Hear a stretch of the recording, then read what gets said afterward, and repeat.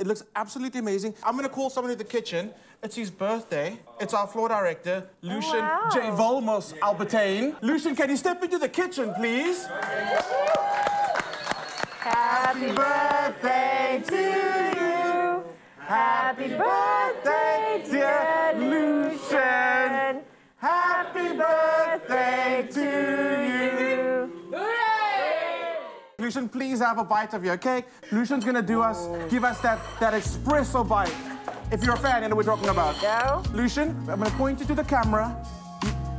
Camera four. I know which camera. You know, oh my goodness. and you know what to do, eh?